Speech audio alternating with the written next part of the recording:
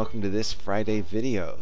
This is going to be the Chapter 2 Friday video, corresponding to Week 2, and it's going to cover questions 2 through 4, mainly because this is a nice little block of ability for me to talk about frequencies, to talk about percents, cumulative frequencies and cumulative percents, but also some graphics on them. So let's begin. Notice that this is going to be very similar to exercise 2.17 from the textbook. So here's the data. We're given the class, we're given the frequency, and I'm going to put the class and the frequency over here in Excel. See how fast that was? You probably should have paused to wait for me to do it, but hey, we're all good. Notice two things. One, I added the 0 to 50 class, which is not on here. And two, I changed the order. I changed the order simply because it's going that will reflect this table that we have to calculate down here. Notice it starts at 50, goes to 100, so might as well continue this. So we're also given the class and the frequency. First thing we need to calculate is the cumulative frequency. The cumulative frequency is just the frequency of everything from that level smaller. So let's create a column called cumulative frequency. So what goes here is the value in that class plus everything less than that. Zero. What goes here is the value in this class plus everything less than that. 6 plus 0. Everything in that class plus everything prior. Everything in that class plus everything prior. I'm going to copy and paste because I'm tired of typing. Those are the cumulative frequencies. So let's go ahead and put those in. 50 to 60, uh, cumulative frequency is 6. Then 19, 31, 46, 50.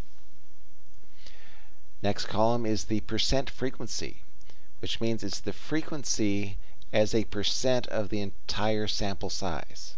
The frequency for this class is 6. As a percent of the entire sample size, it's 6 over 50.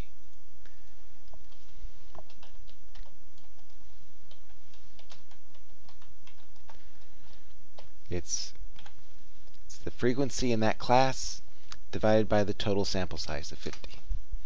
It's equal to the frequency in that class divided by the total sample size of 50. Oh, wait, it wants it in percents. This is in proportions. So it's not just divide b4 divided by 50. We have to make that into percents. So it's times 100. So this is equal to b5 divided by 50 times 100. And again, copy paste.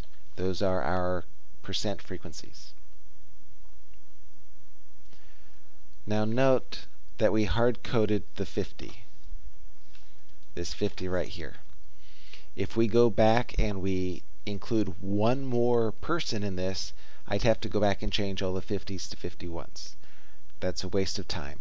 What I would like to do is refer this 50 to this cell here cell C8.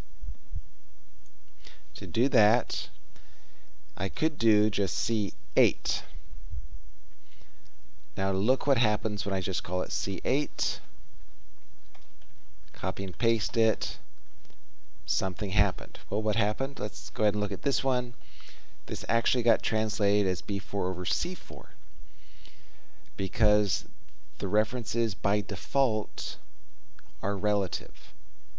This referred to C8, which is just one to the left, which means that when you copy and paste, this will refer to C4, which is just one to the left. We don't want that. We want it to keep going to C8. To do that, we use dollar signs. Dollar sign C means it's going to be stuck in the C column. Dollar sign 8 means it's going to be stuck in the eighth row. So dollar sign $C, dollar sign 8 means it's referring to cell C8, and that's not going to change at all. So I'm going to copy that, paste, and that gives us numbers that really do make sense. So 50 to 60, it's 12, 26, 24, 30, 8. And the total percent, it better be 100. Next is the cumulative frequency. The cumulative percent frequency. Cumulative frequency was the frequency in that class plus everything before. The cumulative percent frequency is going to be the percent frequency in that class plus everything before. Or it's going to be the cumulative frequency divided by the total sample size.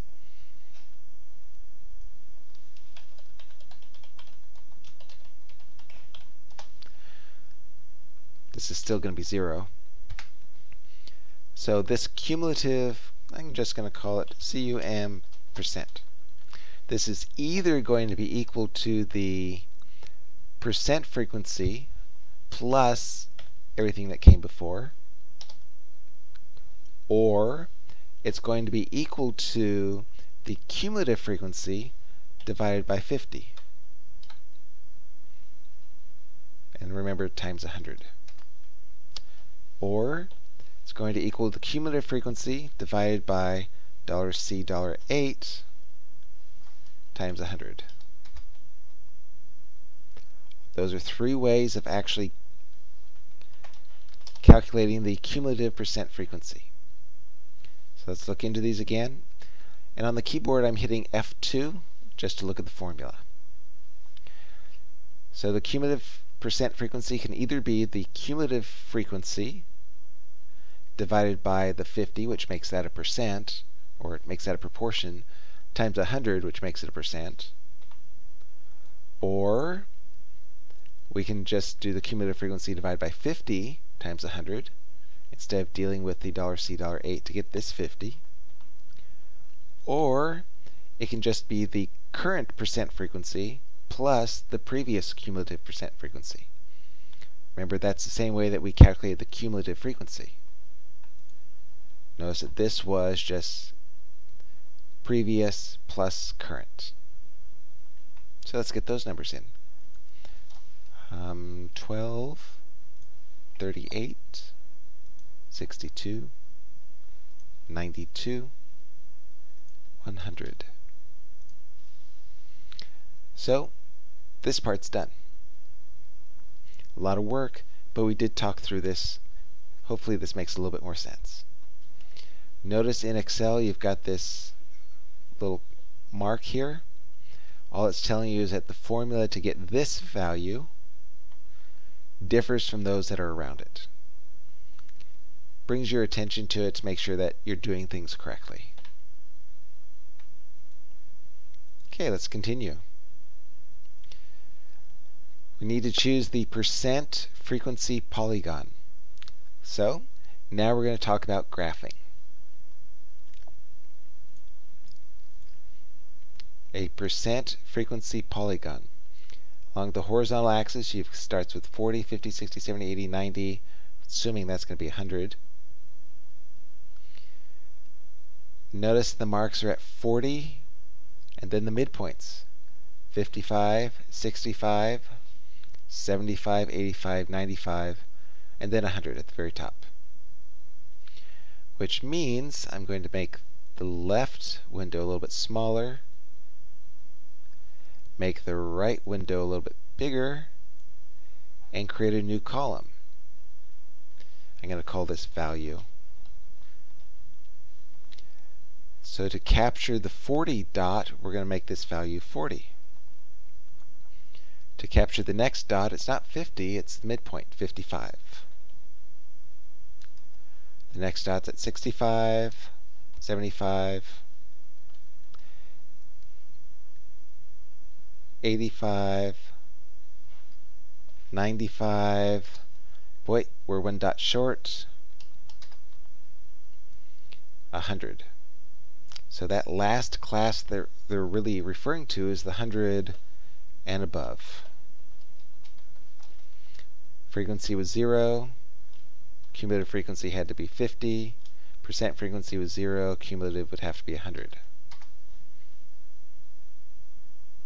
So let's go ahead and insert our um, line graph. Insert, line, we'll get dots on it. Click on that. It's trying to figure out what we want to do. It's not doing a good job. Let me resize this so that we can see it on one screen. Okay, it's resized. It doesn't give us, it doesn't use the data that we really care about. So let's go ahead and select data. When I click on select data, this window pops up. And I'm going to remove all of these options and start from scratch we want to graph on the y-axis the percent, the frequency percent. The frequency percent is in this column D. So chart data range, going to be those values. I'm going to edit it. When I hit edit, this comes up. The series values are what we just placed there. The series name is actually percent frequency and OK. Notice the horizontal values are 1 through 7. We don't want that. What are the horizontal values? What should they be? Click Edit. Axis label range pops up, and it's this column. Or, what may be more helpful, is to give it this column. Hit OK, get rid of this percent frequency dot, and there's our line graph.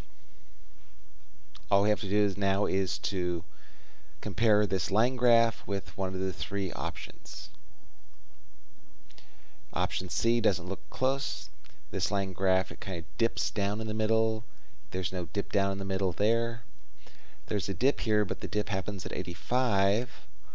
The dip in reality happens at 75 which corresponds to this.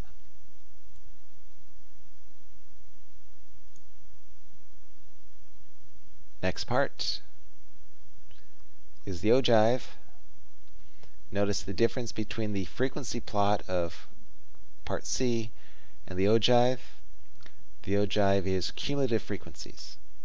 So instead of column D for the data, we're going to want to do column E for the data. So let's go ahead and select data. This pops up. I'm going to remove that. The data I want to include is the cumulative frequency. I'm only taking it until the 90 to 100 class. Click on the series, edit, this window pops up. It's cum percent. The axis labels we're going to edit, but wait before we edit it and give it this last column. Remember that this bottom doesn't count. We did not include it anywhere. Also note where the dots are on the graphics, 40, 60, 70, 80, 90, and 100. So the values really are 40, 60, 70, 80, 90, and 100. And we don't need this bottom row. Let's go back to design, select data, edit the axis labels. Axis labels are those values. OK. And OK and this is an approximation of the correct ogive. Let's see which one it fits. For C, 60 is looks like about 12 and a half. 60 is about 12. Here 60 is over 25, so the second one's not correct. 60 is small, so it could be the first or the third at this point. So we just need to detect a difference between the first and the third. It looks like between the first and the third, the big difference happens at 80. In the third, 80 is between 50 and 75, midway between. In the first, 80 is above 75.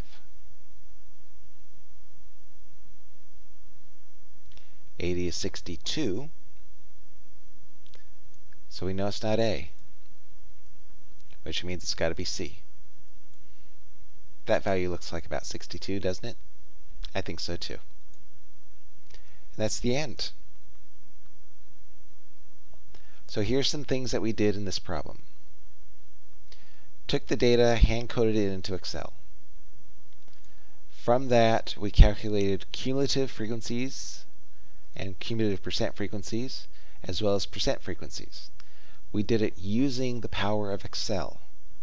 We created formulas. B4 over $C $8 times 100. We remember why we had to multiply by 100. We remember what the dollar sign does, so we know what $C $8 always refers to. Cell C, cell 8, cell C8, sorry. And that won't change as you copy and paste. The B4 refers to cell B4, but since there's no dollar signs involved, as you copy and paste this cell D4, it will change the B4 uh, relative to that. Always 2 to the left. And then we, we created two graphics. The first graphic we created was just a frequency polygon. The second was a cumulative frequency polygon. And that's what an ogive is. It's a cumulative frequency polygon, which means the curve is always going to be non-decreasing. It's always going to end up at 100%. It's always going to start at 0%. Think about why that has to be the case. Before we get going, um, this problem, first one was 2 points, 4 points, 6 points, Let's go ahead and submit this and hope that we got six points. I'm going to submit anyway. And boom, we got them all right. Makes me feel good. Hopefully it makes you feel good too. I hope you have a very good day. Take care of yourself. I'll talk to you later.